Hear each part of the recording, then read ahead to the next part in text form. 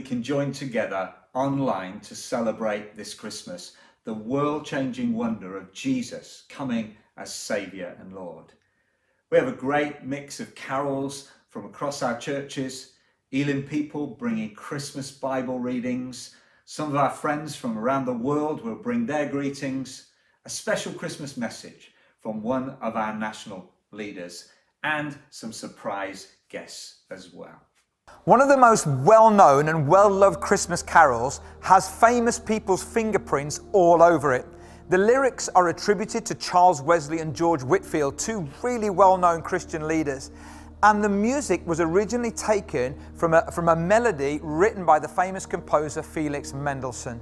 This is such a great carol, not only because it gives us the real meaning of Christmas, but it points to the real meaning of why Jesus came to the earth with that brilliant line in the last verse risen with healing in his wings. It's so rousing that when you hear it, you can't help but stand and sing. Hark the herald angels sing, Glory to the newborn King.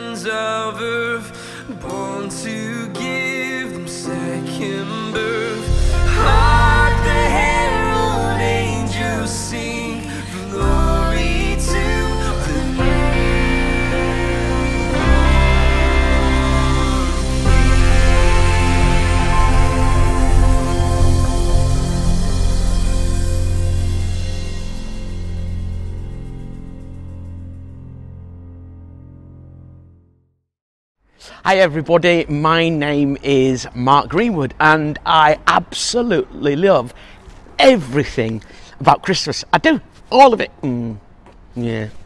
To be fair, when I say all of it, there's a few things I'm really not keen on. sprouts. Sprouts. I mean, when I was younger, my mum used to mash them up and tell me it was cabbage. Can you imagine that? She said it was cabbage, like some kind of posh cabbage. But I ate sprouts. I really, really do. But apart from sprouts, I love absolutely everything about Christmas. I do. When I say everything, it's not quite true. Board games. Hate playing board games. I mean, like I sacrifice a lot. I really, really do for my family because they love board games. But I absolutely hate board games. I think they're appropriately named. Board. Yeah. Board games, hate them. But apart from board games and sprouts, I love absolutely everything about Christmas. Mm, that's not true either. Yeah. Christmas jumpers. I mean, what the heck is Christmas jumpers about? But apart from sprouts, apart from board games, and apart from Christmas jumpers, I love absolutely everything about Christmas.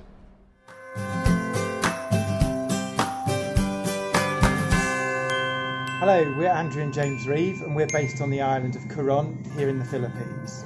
Christmas starts here on the 1st of September when people start decorating their homes and playing Christmas music. And then on Christmas Eve, the family will have a special time together and they will have uh, spaghetti or pancit noodles and exchange gifts. And then on Christmas Day, the extended family will all have a bring and share meal. And then the children will go and visit their godparents to receive a blessing and a gift from them. Um, godparents play a really important role in the children's lives here in the Philippines.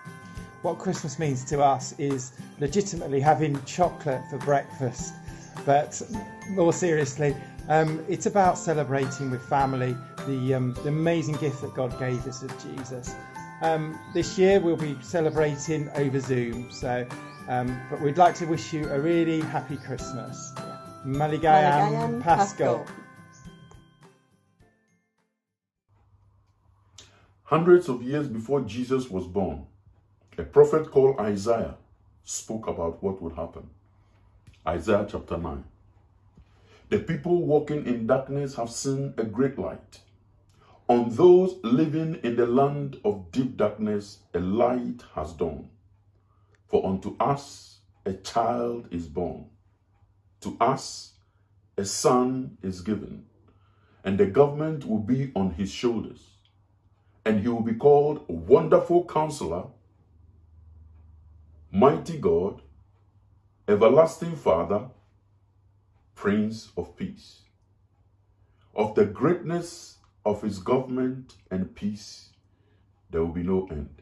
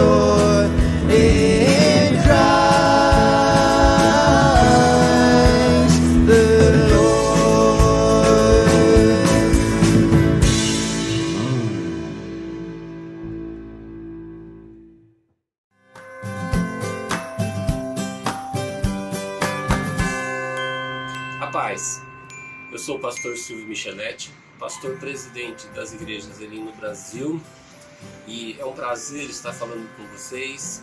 Nós aqui do Brasil eh, temos uma cultura muito gostosa na questão de estarmos celebrando juntos o Natal.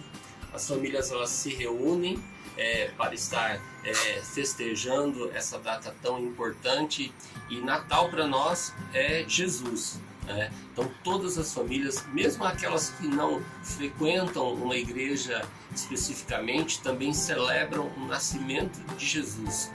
Então eu quero deixar aqui um feliz Natal para vocês, desejar a vocês que eh, sejam abençoados nessa data.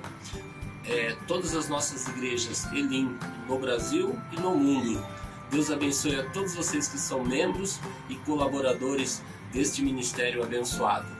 Feliz Natal a todos.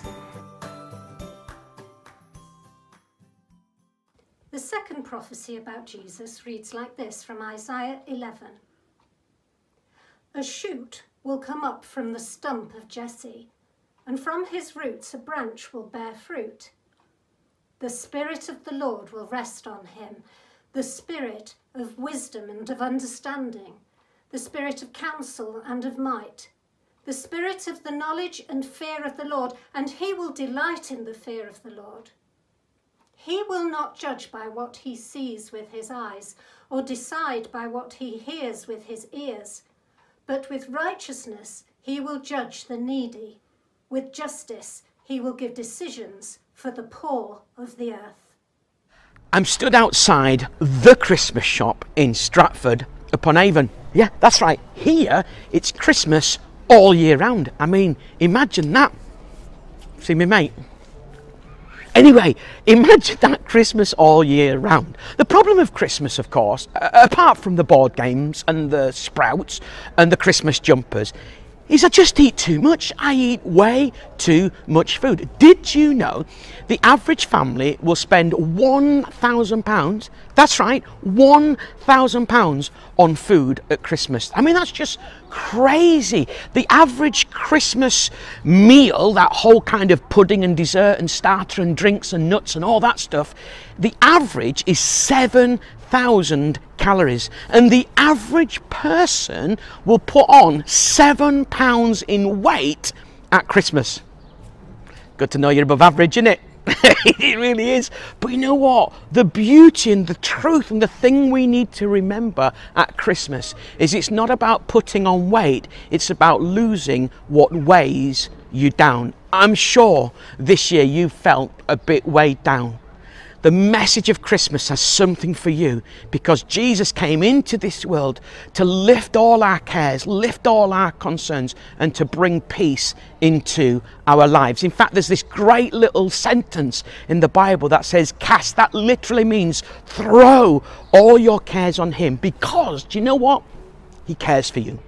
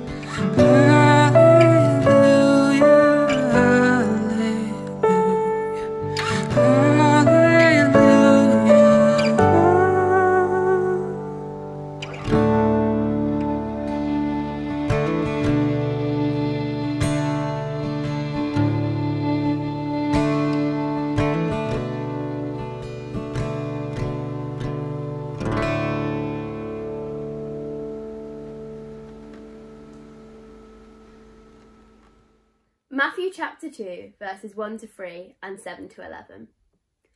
After Jesus was born in Bethlehem, in Judea, during the time of King Herod, wise men from the east came to Jerusalem and asked, Where is the one who has been born King of the Jews?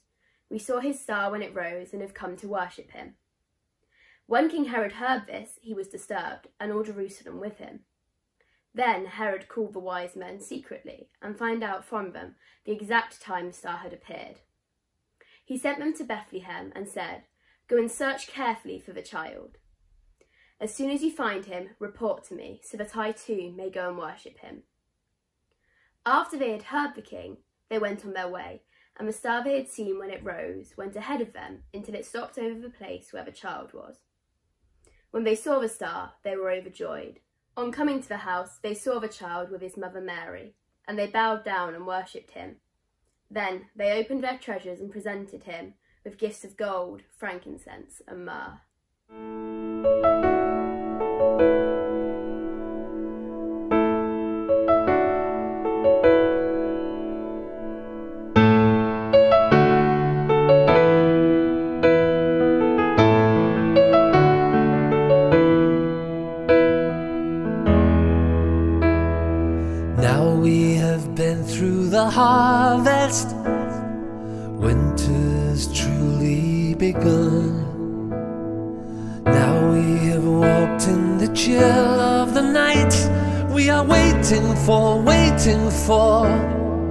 for the Savior's day.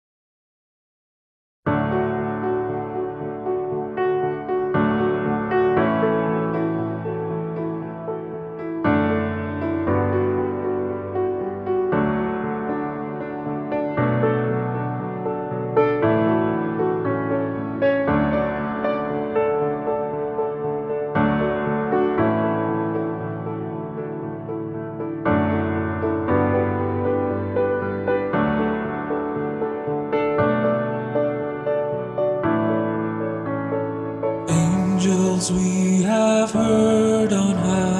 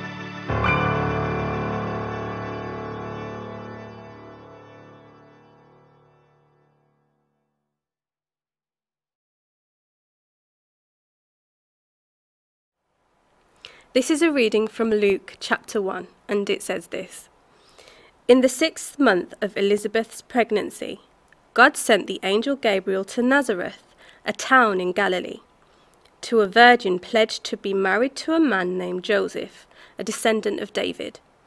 The virgin's name was Mary. The angel went to her and said, Greetings, you who are highly favored. The Lord is with you. Mary was greatly troubled at his words and wondered what kind of greeting this might be. But the angel said to her, Do not be afraid, Mary, you have found favor with God. You will conceive and give birth to a son, and you are to call him Jesus. He will be great and will be called the Son of the Most High. The Lord God will give him the throne of his father David, and he will reign over Jacob's descendants forever. His kingdom will never end. How will this be? Mary asked the angel, since I am a virgin. The angel answered, The Holy Spirit will come on you, and the power of the Most High will overshadow you. So the Holy One to be born will be called the Son of God. I am the Lord's servant, Mary answered. May your word to me be fulfilled. Then the angel left her.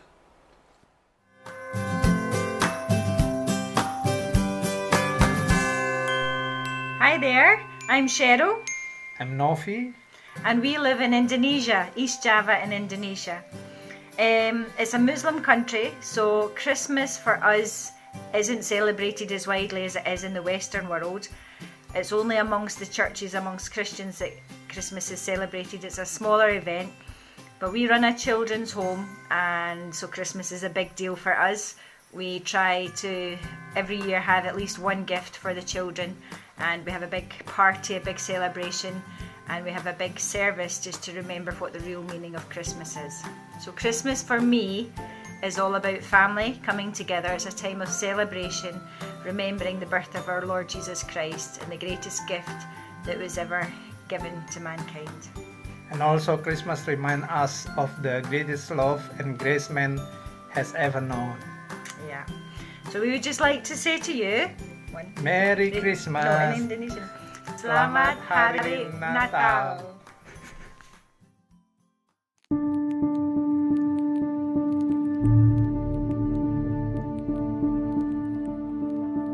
The bells start jingling. Mariah starts singing. Cinnamon and pine aromas cause us to remember. Families get tinseling, excitement tingling. For goodness sake, it's only November. Because in the 11th month the ballads begin. Catchy Christmas choruses cling to you and your kin. Top to toe in tailbacks, the boys of the NYPD choir. Chestnuts roasting, by now surely burning, on an open fire. Shakin' Stevens, Wham, Bing Crosby, Band Aid, Buble, Slade. Wizzard, do you really wish it could be Christmas every day? Think of all the shop assistants, six weeks of it to get through. As Bono said, tonight, thank God it's them instead of you.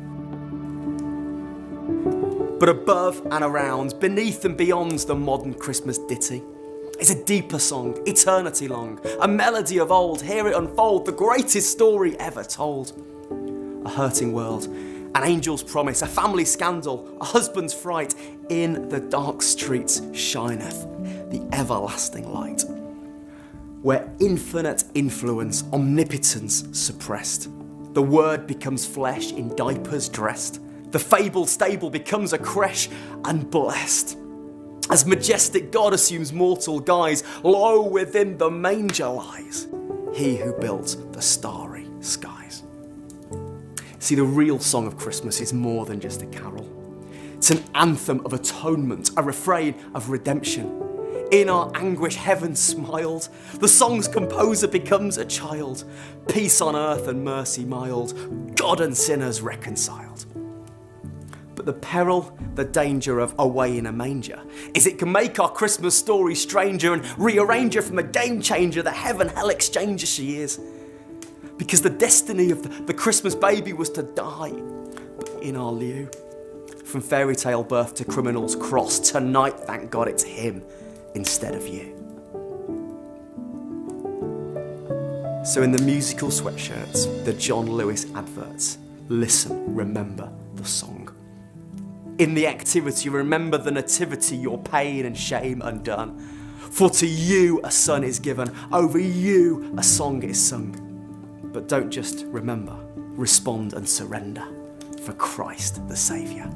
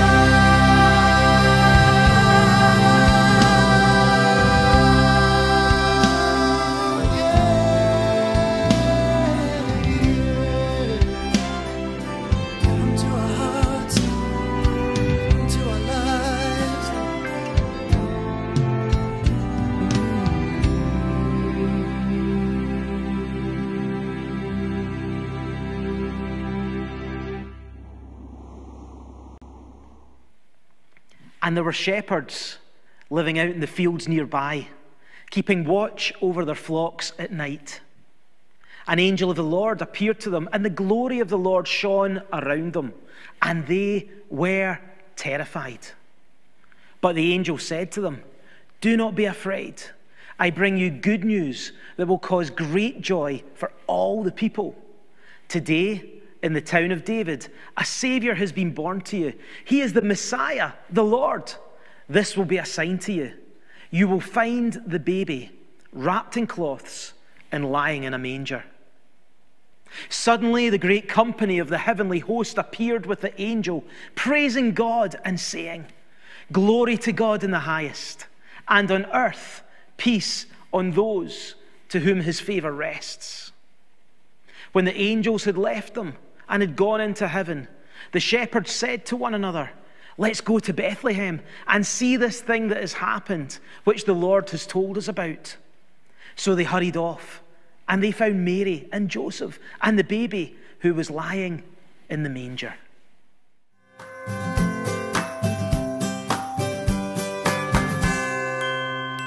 Hello, my name is uh, Pastor Aaron Chan. I'm from London, the Chinese uh, Elim Chinese Church. Uh, Christmas to us is really important, especially Christian, because the, the, uh, we used to come from a, a pagan background. We, we, we never used to celebrate Christmas. But after we became Christian, Christmas is, means so much to us. Every year we, uh, we have party in the church and we have games and we have wonderful time together. Unfortunately, this year, we, because of lockdown, we're not allowed to uh, mix because of social distancing. So what we're going to do this Christmas, we're going to have a live concert. So everybody can join in to watch uh, the, the, the, the, the, concert together. And also in, the, in, the, in one of the church meeting, we're going to uh, have games. Despite there's a, there's a social distancing, but we will try to find a way how to play games without coming close together. You're going to be fantastic. You're going to be wonderful. So we cannot allow the pandemic to, to, to stop us from celebrating Christmas. So Merry Christmas. 圣诞快乐,圣诞快乐. Amen. Praise the Lord. One of the things I really do love about Christmas and I think I'm going to appreciate it even more this year as we've had this crazy global pandemic is just stopping and being with those that I love. And you know what? I'm proper going to go for it. I'm going to have some right good food at Christmas time. I really, really am. I'm going to drink some Schlur. It's going to be fantastic. But I do love that about Christmas. I love remembering to spend time with those that I really, really appreciate. But I also love remembering what Christmas is really, really all about. And that for me is what's really exciting. Uh, behind me is the birthplace of William Shakespeare. I'm in Stratford upon Avon, that is famous for the birth of this amazing person that people from all over the world have heard about. And they come to Stratford and they take photographs and they enjoy finding the actual place where William Shakespeare was. It's an amazing atmosphere around here when you start to see all the Stratford stuff and the William Shakespeare stuff. But you know what? Christmas I really love is remembering that Jesus Christ really was born. He did turn up. I'm remembering the most famous birthplace that we sing in the carols and we remember that Jesus came to our world and people from all over the world and especially at this time of year begin to think a little bit more about the birth of Jesus, the most famous person who did some of the most famous writings that had incredible impact on our world. In the beginning was the Word, and the Word was with God, and the Word was God. He was with God in the beginning.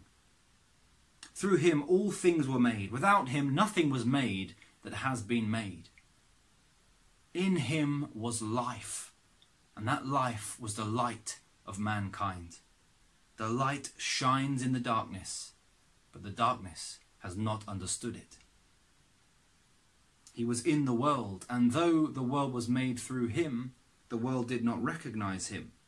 He came to that which was his own, but his own did not receive him. Yet, to all who received him, to those who believed in his name, he gave the right to become children of God children born not of natural descent, nor of human decision or a husband's will, but born of God.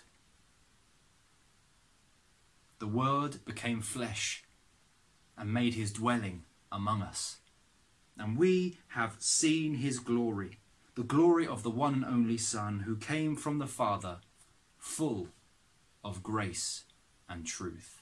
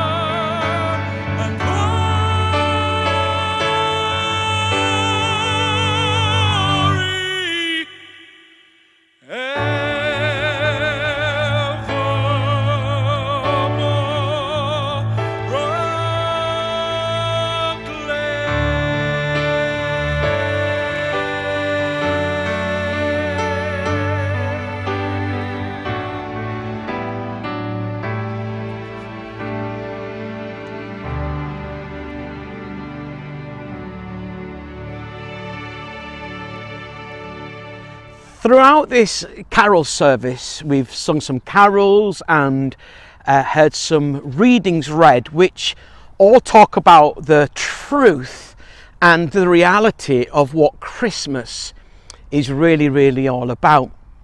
Our friend Kojo read to us from probably one of the slightly lesser known Christmas readings, but he introduced us to the fact that to us a child is born, to us a son is given, and the government will be upon his shoulders. That's talking about how when Jesus was born, the whole of authority rests upon him. And then it goes on to say, and he will be called Wonderful Counselor, Mighty God, Everlasting Father, Prince of Peace.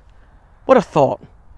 Do you ever need somebody to listen to who understands? What makes counselors really effective is when they've been through stuff. So when you share your stuff, with them. They understand Jesus is the wonderful counselor. He's, he's been through stuff. He hasn't remained distant or disconnected from earth. That's what Christmas was all about. It was about God saying, I don't want to stay distant. I want to turn up. Let Jesus be close to you this Christmas because he's the wonderful counselor.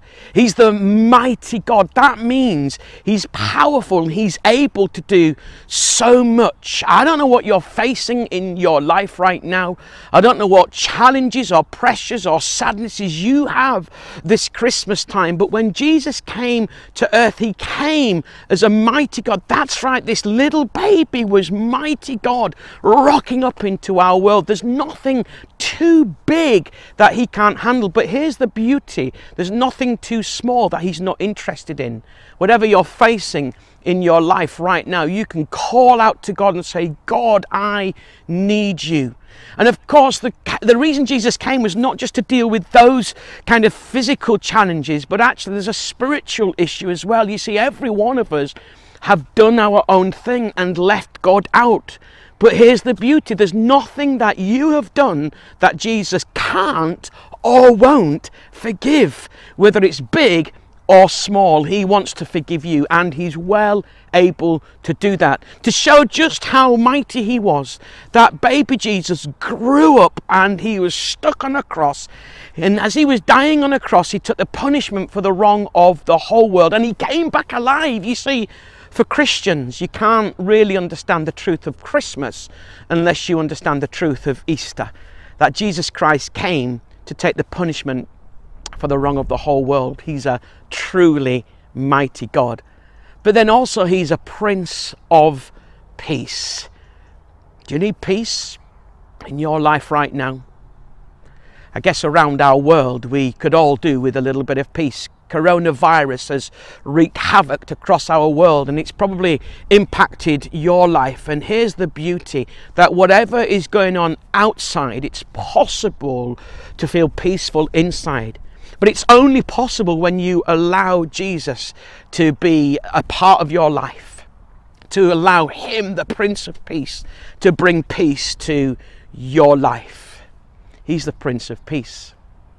But then it tells us that he's also the everlasting Father. I guess at Christmas time we often think about fathers that are not with us. We live in a fatherless world in, in so many, many ways. But I want to say to you that Jesus is the perfect Father who knows how to treat you and will treat you right. He wants to become your Father this Christmas. You know, when you're given presents, I don't, I don't, know if you maybe fear the worst, like Secret Santa presents. Gosh, what are, what are we going to get? And I don't know whether presents and gifts are going to be quite the same this year. But when you're given a gift, you can you can do a number of things. You can you can take it and say, "Oh, thank you," and open it immediately and say, "Oh, this is fantastic." Sometimes you're a bit disappointed with what you've got. Sometimes you're really pleased. I suppose you could say, oh, I'll open it later, maybe put it in the garage and open it at some point in time. Uh, and I guess if you're really, really sad, uh, you can say, do you know, I don't, I don't want that gift. This year, as in every year, the truth of Christmas from that first Christmas to right now is that God has given us a gift and he's called Jesus. For to us a child is born, to us a son is given. Another little sentence in the Bible says that for God so loved the world, he gave his one and only son. So whoever believes in him will not die, but will have everlasting life. God is offering you a gift today. Will you accept it, reject it, or maybe just put it to one side? Just as I draw to a close in my uh, talk to you today, uh, there are three ways that you can respond to God's offer of a gift. You can say a big yes and open up your heart to Him this Christmas. To do that, you simply need to say, God, I, I know I've left and lived my life without you and left you out, but today I want you in my life. And saying yes to God is about inviting Him in and with His help, turning away from living life without Him and starting to live life His way, asking Him to forgive you for all the things that you've done wrong. You know, as I look at my life, there's things that I've done that I'm not happy about, and so it comes as no surprise to me that there are things that I've done that God's not happy about. And it would probably come as no surprise to you too. But the truth is, God may not be happy about those things, but He doesn't judge us or condemn us. He wants to forgive us. Why don't you, right now, where you are today, say a big yes to God? Say, God, I'm inviting you in. And my prayer for you is that as you do that, you'll realize that God has already said a big, massive yes to you. Uh, but another response you can have is you might feel that you're not really ready to say that big yes to God.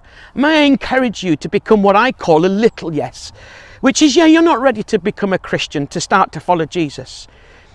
But this Christmas time, it would be an amazing decision if you decided to make an intentional decision to find out more. You see, if there's any possibility of the truth that Christmas is real, you want to look into it. Afford yourself the luxury of looking into it. It's too good to miss out on. Why don't you become a little yes?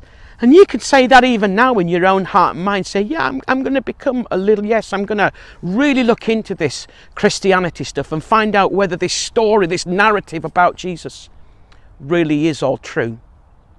Or there's a third response. And if I might just gently challenge you today, you might be saying, I'm not, I'm not really ready to say that big yes to God, or even that little yes. May I encourage you gently or challenge you gently to become what I call a healthy maybe. Many people say they're open minded, but don't often kind of apply that to Christianity. May I encourage you to make a commitment today to, at the very least, become open minded about the reality of Jesus and God and the Christian faith. And if you are open minded, may I encourage you to remain open minded, to make that commitment. You're not throwing everything in and investigating, but just keep it on your agenda a little bit more than once a year at Christmas. It's what I call a healthy maybe. Why? Because I want to encourage you to take your maybe there's something in this and don't let it dissipate, but just keep it on your agenda to make it a healthy maybe. I'm almost done. If you're a big yes or a little yes or a healthy maybe, we'd love to help you. And so, if you're watching this today, you can message in the chat to the church that's hosting it, or if you're watching it on the Elim YouTube channel or through some other means, then why don't you get in contact with us at elim.org Go to our website, there's a church locator on there, send us a message and just say, I'm a big yes, or a little yes, or a healthy maybe. Let us know that you listened to one of the Christmas events and we would love to send you some information, maybe connect you with uh, another bunch of Jesus' followers if that's what you would like. But help us to help you this Christmas. God bless.